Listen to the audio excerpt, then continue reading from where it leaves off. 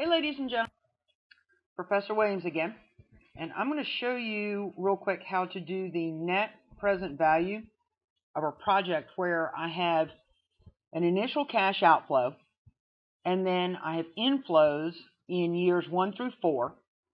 Year 5 I have a cash outflow and then I get cash back in again in years 6 through 8.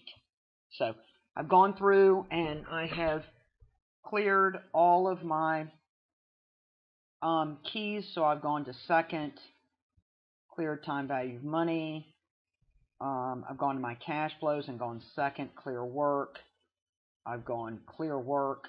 Um, so I'm going to start. First cash flow is a $14,500,000 outflow.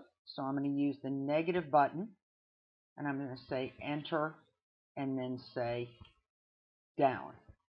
And I know that um, I have no, I have a um, cash inflow in year one.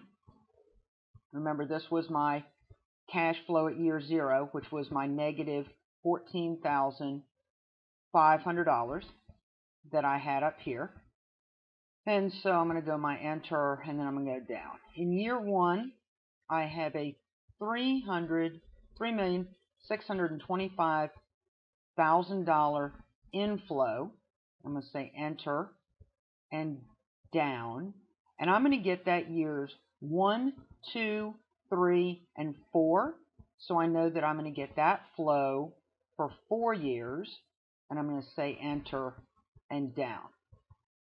Um, my second cash flow is going to be my fourteen one million four hundred and fifty thousand dollars, and that's going to be a negative. So I'm going to hit the negative, positive, negative key, and I'm going to say enter and down. And I'm only going to have one of those, so I'm going to say enter and down. Now, what's my third thing that's going to happen? So I'm going to get my $583,333 a year, which is positive. So I'm going to hit enter and down. And the question is, of this third thing that's going to happen, how many years? I'm going to get it in years 6, 7, and 8. So that's 3.0 years. Enter down. Now, I don't need to do um, four because I don't have a fourth thing going on. And what I want to do is I want to compute my net present value. So it's going to want to know my I, which is my discount rate, which is 16.0. Enter. And then down. And now it says my net present value is equal to, and I'm going to hit compute and the net present value of this project is a negative $4.4 million and change. And that's literally all there is to it.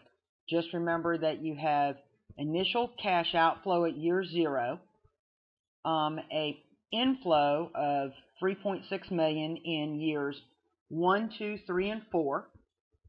Then I have another cash outflow in year five which just happens one time, and then six, seven, and eight gives me three years of cash inflows, and I'm going to use that um, compute net present value, enter my discount rate of 16%, and I am good to go.